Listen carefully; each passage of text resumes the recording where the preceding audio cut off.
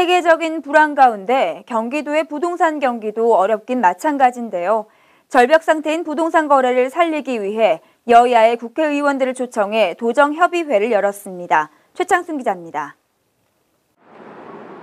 지난해 12월 경기도의 부동산 거래는 2만 천여 건. 하지만 올 1월에는 5천여 건까지 줄었습니다. 세수의 40%가 부동산 거래 세금인 경기도는 도정 운영이 어려운 실정. 이런 상황을 타개하기 위해 주택정책 도정협의회를 열었습니다. 곳에 재건축, 재개발, 뉴타운과 관련된 것들이 전혀 진행이 안 되고 하는 상황들. 아마 그러다 보니까 어, 부동산 경기가 침체해서 지방 재정이 어렵게 되고 도는 대안으로 시장이 회복될 수 있도록 취득세 감면 기간 연장 법안과 다주택자 양도세 중과 폐지안을 제시했습니다. 이어 주택개발 과잉에 대한 목소리도 나왔습니다.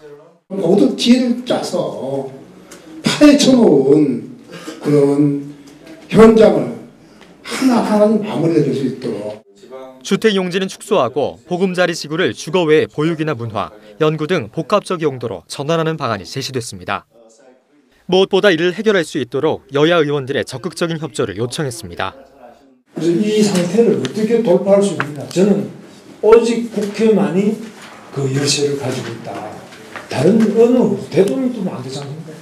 그러니까 이 법을 바꾸는 없는데. 새 정부의 첫 작품이 될 부동산 종합대책. 경기도의 건의사항이 받아들여져 부동산 시장을 활성화시킬 수 있을지 귀추가 주목됩니다. 주뉴스 플러스 최창순입니다.